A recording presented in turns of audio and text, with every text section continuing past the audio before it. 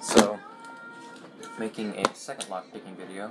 So, this is a see-through lock, um, and why I was able to do it so fast uh, was because I could see the pens moving around. Um, you can't actually see that when you're actually picking a lock, so I'm going to try, I taped over it, and now I'm going to try and do it without being able to see. Um, so, there's usually about six pins in a lock, and what the key does is just hits the pins in the right order, and then, well, there's two pins actually, one on top, one on bottom, and the key pushes it up in the right order so that the space in between allows the centerpiece to turn. You can still kind of see it in here. It just hits and allows it to turn um, by having things balanced in the right way. Um, so, what you want to do is you want to put your tension wrench in the bottom. Usually you want to use, there's two sides, a thicker side and a thinner side, and you usually want to use the thinner side because that allows you more room for the actual picking. And then you go through and you just kind of feel. You apply very little pressure with your pinky. And you go through and you start feeling the pens. When one moves up and the wrench moves forward, you know you can move on to your next pen.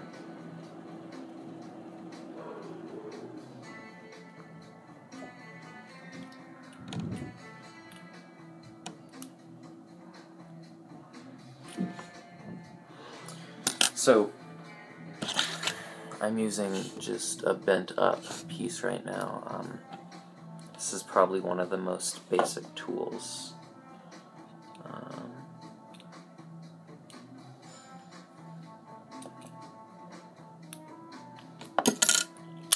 there it goes.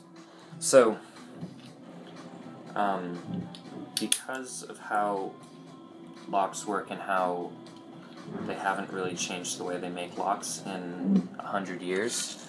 Um, each like it's not perfectly lined up, so each time you hit one pin, it allows you to push it a little bit forward so you can hit the other pins each time moving it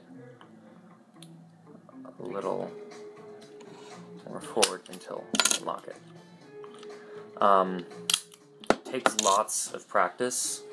I've spent most of my day doing this, um, so that's why I can now do it so quickly. Um, so yeah, you what you do. This is more of a tutorial than the last one. Last one I was just kind of showing off.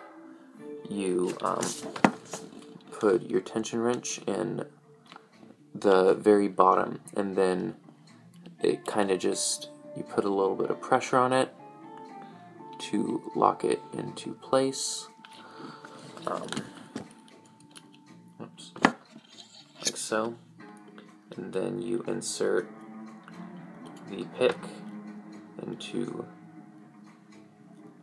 the upper part.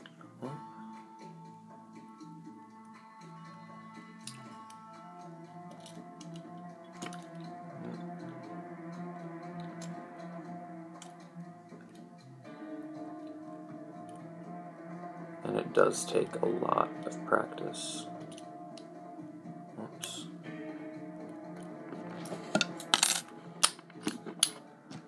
But eventually get it. And you have to you have to hit the pins in the right order, otherwise it doesn't turn.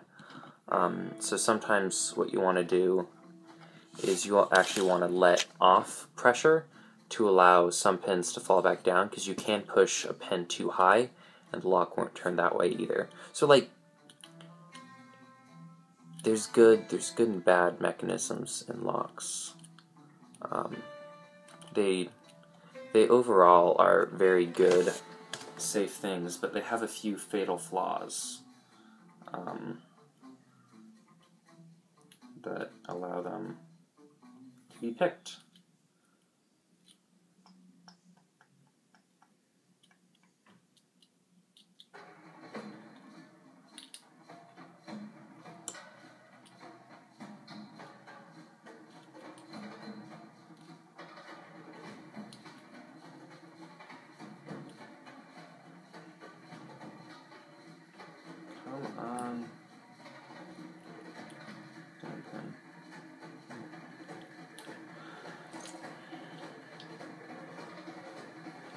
Your hands can cramp up sometimes from doing this. So.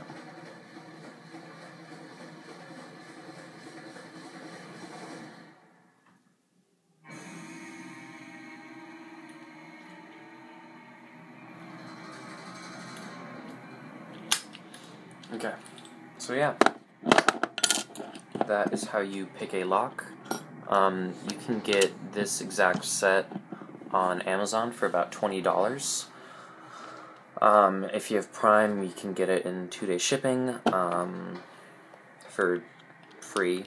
Um, yeah, you can you can find cheaper versions of this set online, and when if you ever shop for lockpicking sets, you will see a lot of sets that are like 20 piece set, 30 piece set, and you don't really need that. All all you really need um, is a five piece set. You need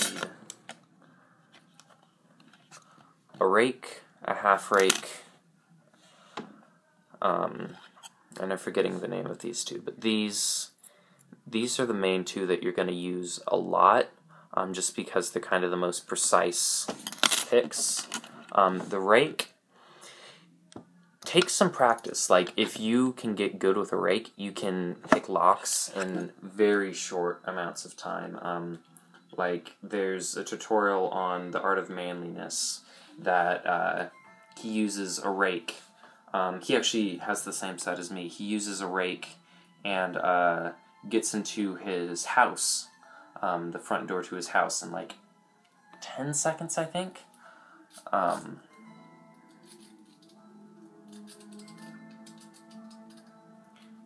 personally, I don't love the rake. I feel like it's kind of a sloppy tool.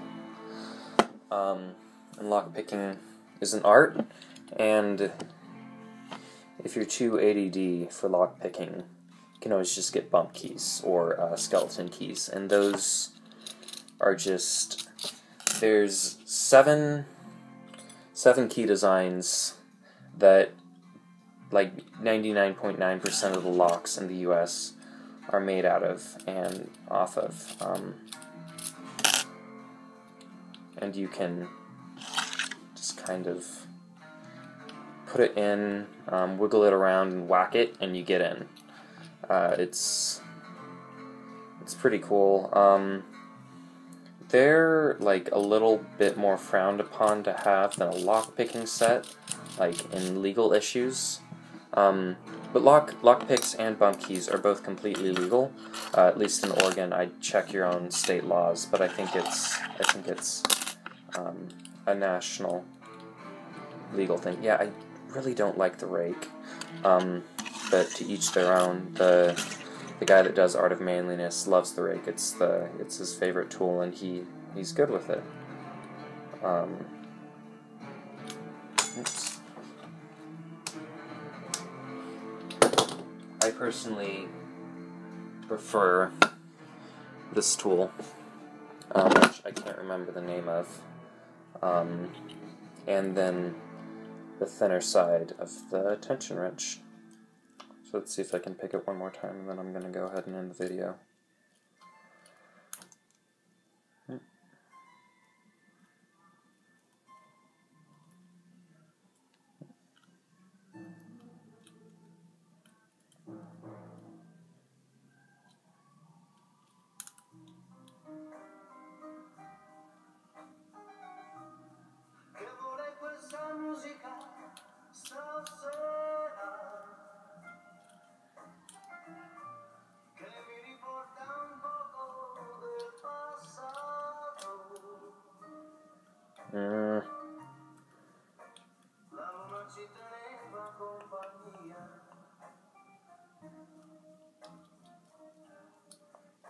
incentivo mía, solo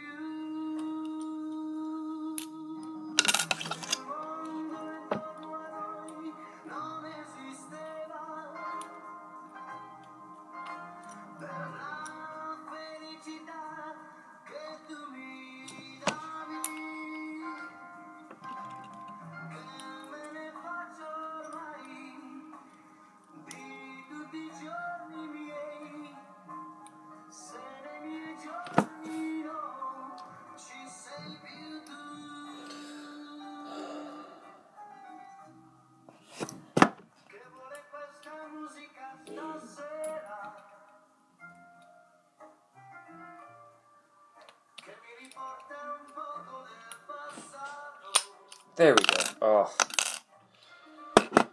Lots of work. Um, and sometimes you just hit the pens in the right order the first time, and sometimes it takes resetting like 15 times. Um, yeah, I hope you enjoyed this. Um, if you want me to do more tutorials on lockpicking, or Zippo lighters, or butterfly knives, or um, anything else that makes me sound like I'm part of organized crime, just just tell me. I'll, I'll do it. I have a, ring, I have a watch, a pocket watch, got a baseball bat, I can pick locks, I can use a butterfly knife, and practically a mobster. Don't tell the authorities. Um,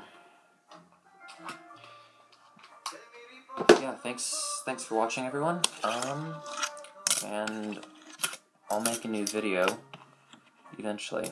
Actually, I have a ton of homework that I've been not doing because I've been playing with my new toy. So, but lockpick sets are good to have, just like in case you ever get locked out of your house. Um, it's a good skill to have. It's uh, it's a lot of fun to do um, if you like me and enjoy puzzles and things. Um, yeah. Thanks for watching. Au revoir.